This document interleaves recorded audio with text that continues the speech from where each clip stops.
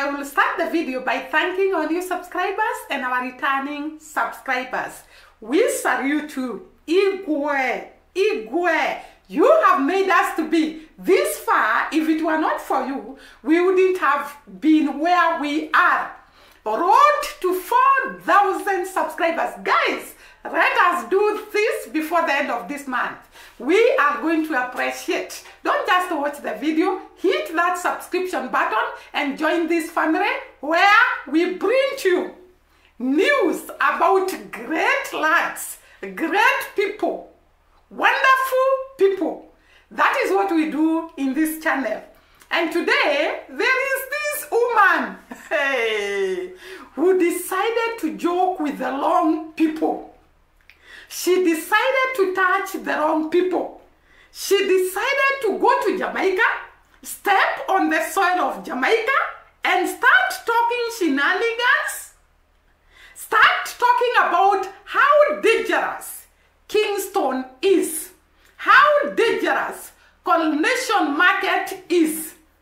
And I wondered if Kingston is that dangerous, why was she going to shop there? She was actually taking a selfie in the midst of Kingston.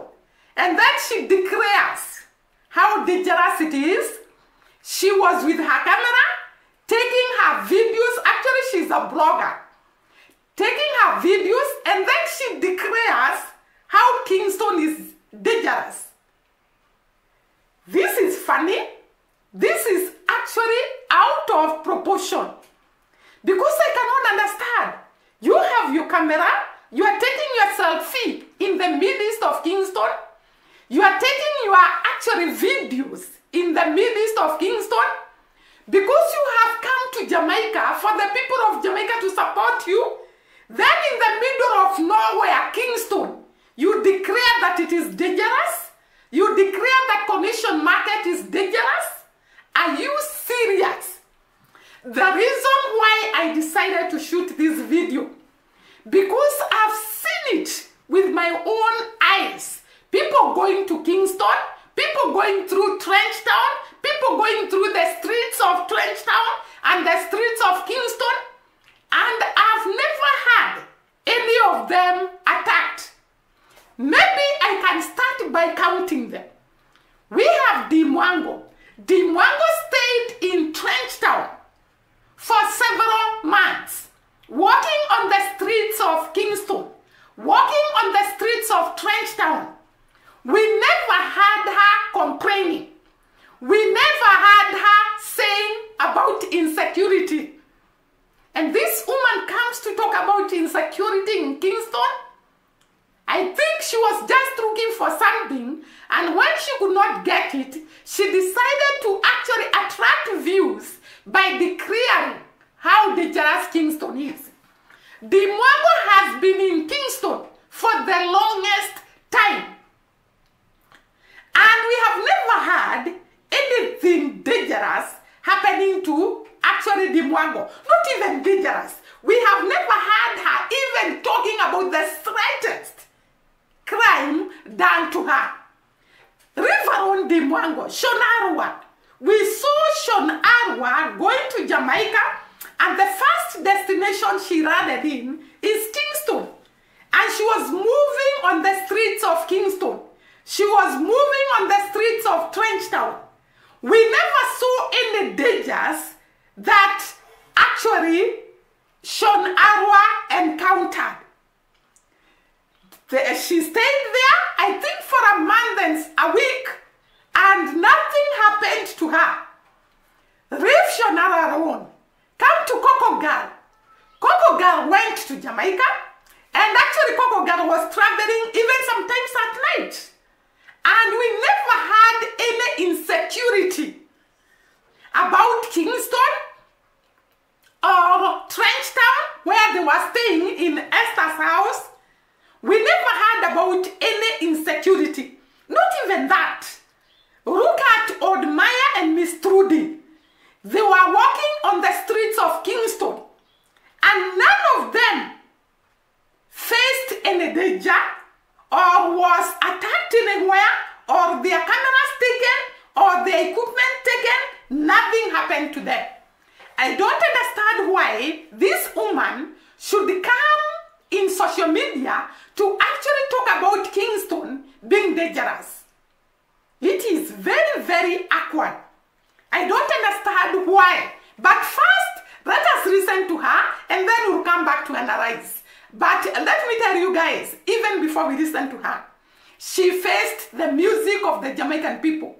I always tell you, I love and admire the courage with the Jamaican people. They will not sit down and allow you to ruin their country, allow you to talk shenanigans about their country, about their people, about them.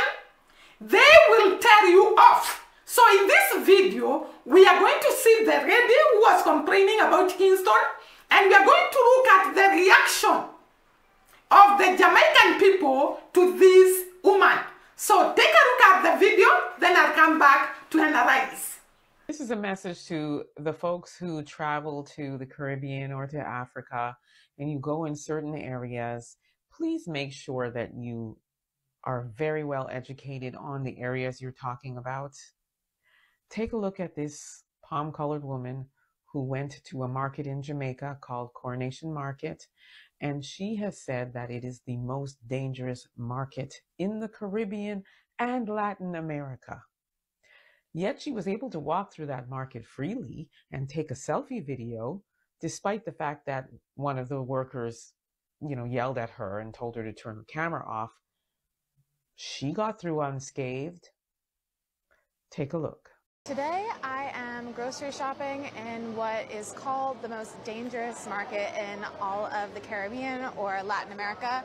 This is Coronation Market in Kingston, Jamaica, and the reason it is considered so dangerous is because it is pretty much like right in the middle of Tivoli Gardens, which is just a super dangerous area. I'm kind of like hiding in the back right now.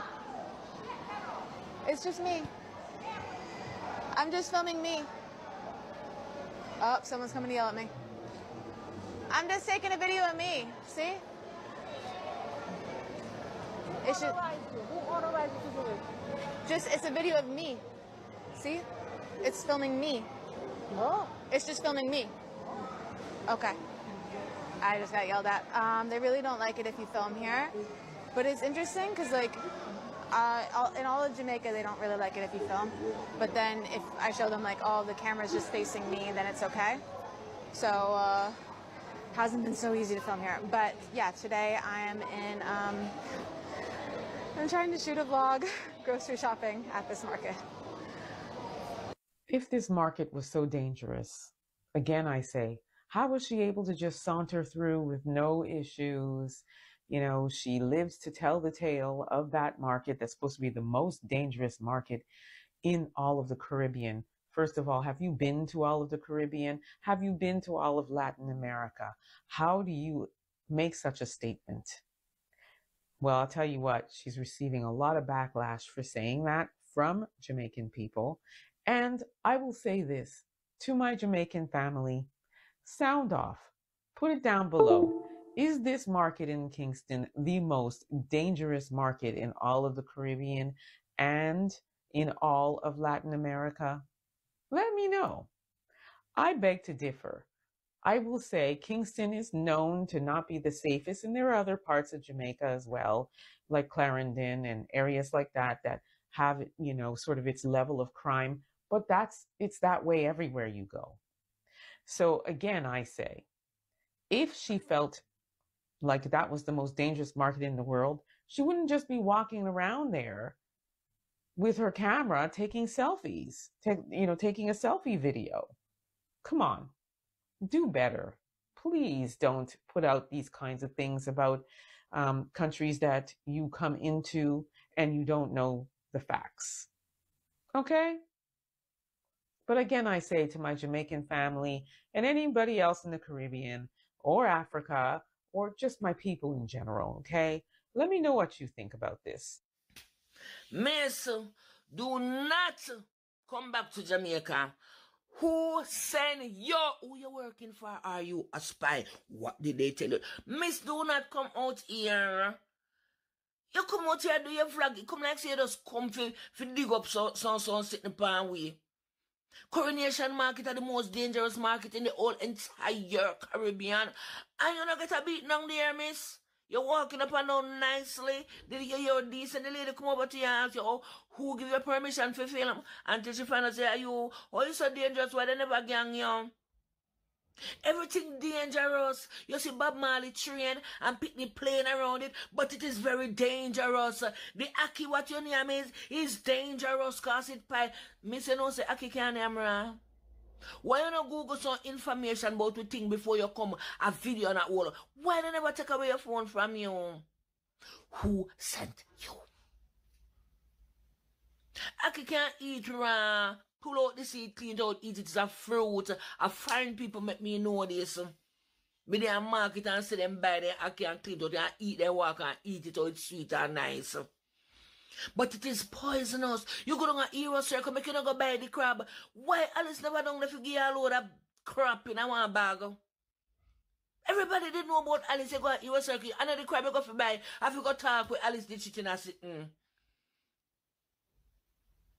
You go pan the train, Bob Marley train, you know, show one little historical um thing. No, it dangerous. Me want when you did go in at the front part, they little in and they lock you up, lock you in and you can't come out. You just come to Jamaica for report about bad things. Me see you in some bush at about you in the jungles of Jamaica. You yes, we are jungle, miss. You in some bush. You tell people say the, them say they can't go beach because so far. Beach there where they can walk, go drive, go jump in a everyday free beach. Me not say some of our properties them not sell out for you. But public beach there where people can't go as them feel like, why you they talk them to Mason? Who sent you? No man, me feel say you're a spy. Then if you take you back in the country. The only video I see you do where you has it the good for say is the jelly. And like you couldn't find nothing for say about the jelly. The man watch up the jelly. But I listen for you say he dangerous the way my cutty. Cause everything out here is dangerous. I was listening for you to say that it is very dangerous so he cuts the coconut. Miss, please do not come back out here. We know what we have, tourists love we area, you not do nothing to help we.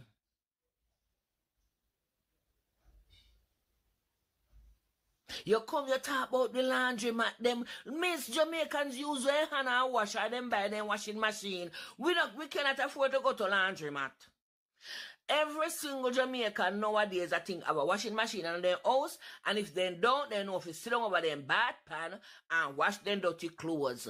Why are the, the, the large matter for uno, you know, say a 25 US dollar, I feel uno. What can I use uno and I wash? So what you complain about? It, you, what you not talk about? What you not talk about? Do not come back out here, miss. I am warning you, because if you buck up on me, then I'm going to say you buck up on one of the most dangerous Jamaicans. Yeah. Do not come back out here. I will it more things that you me can't remember them. Practically about 10 video. And out of the 10 video, I probably one, you know, says it's dangerous. One. You know, says it's dangerous. And it's the jelly coconut when the man chappy gear. I mean, was listening for you.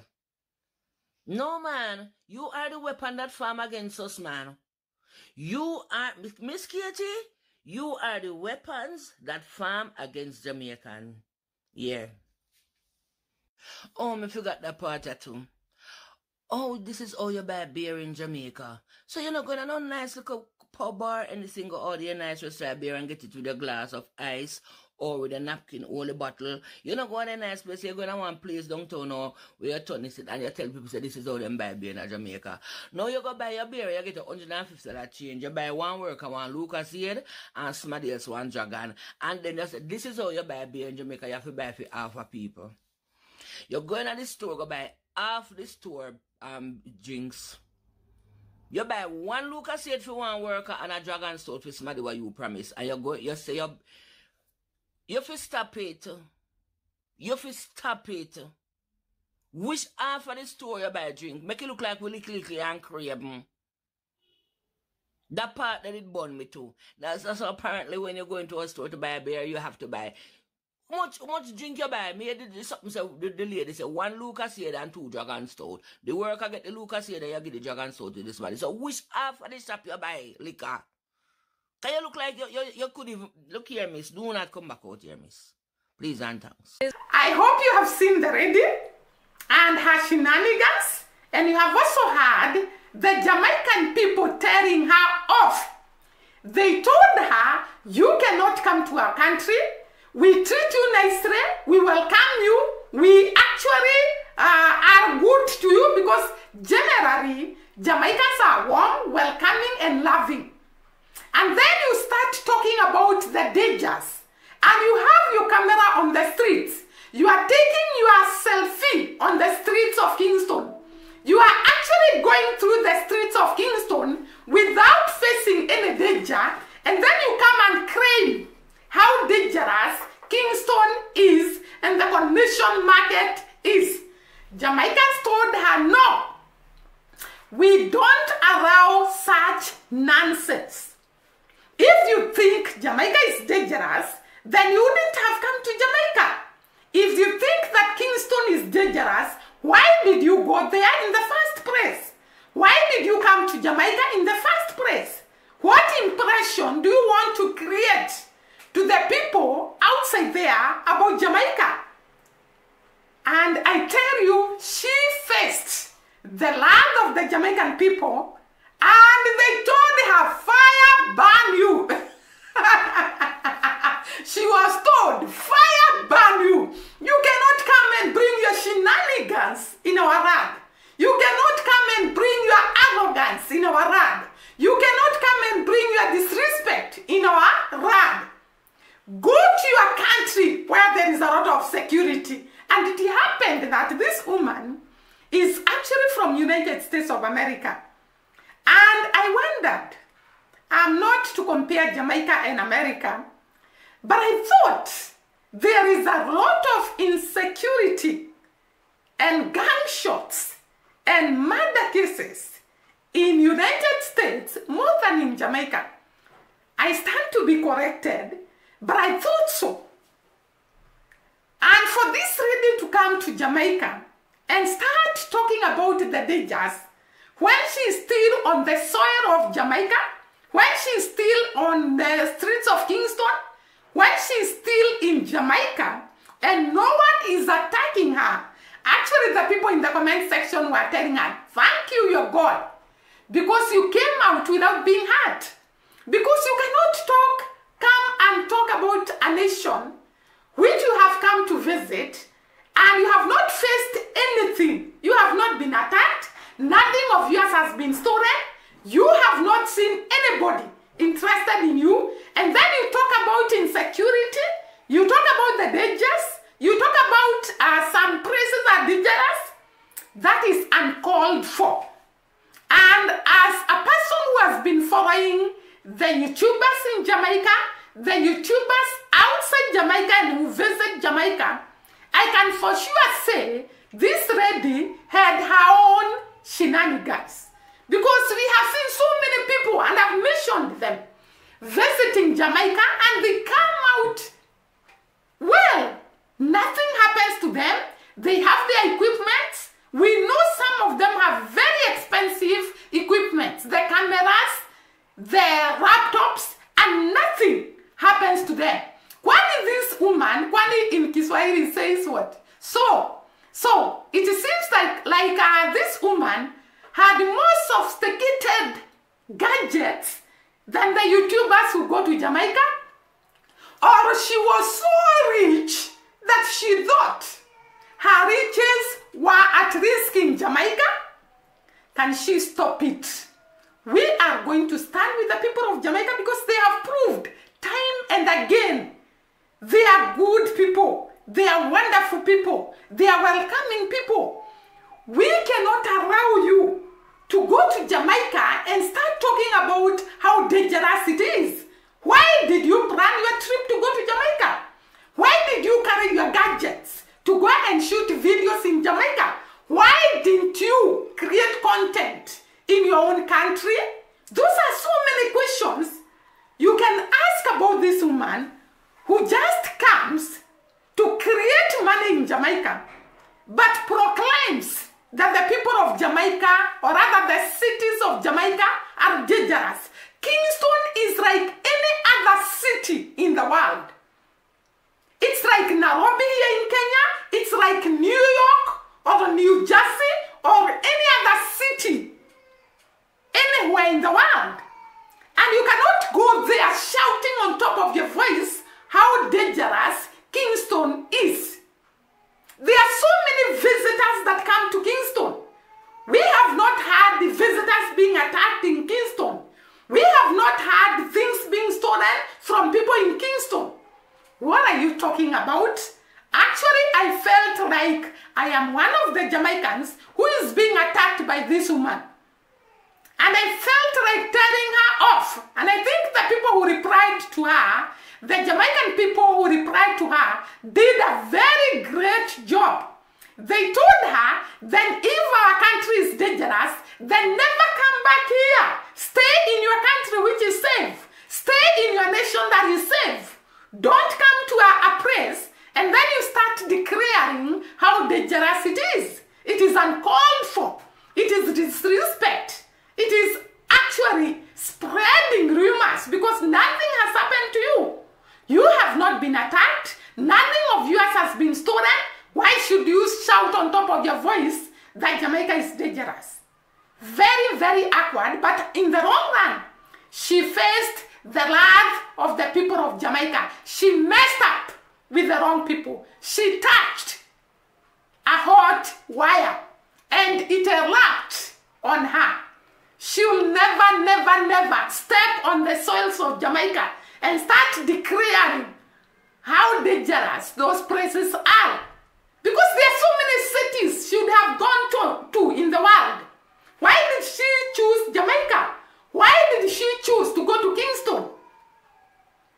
So, it is very, very sad, and I also felt bad because I have seen those streets and people going to those streets, and they are always safe. I could not understand what this woman is talking about. But guys, she received her piece of the cake. So, allow me to stop this video at this juncture. Thank you once again for watching us. See you during the next video. Bye-bye and God bless.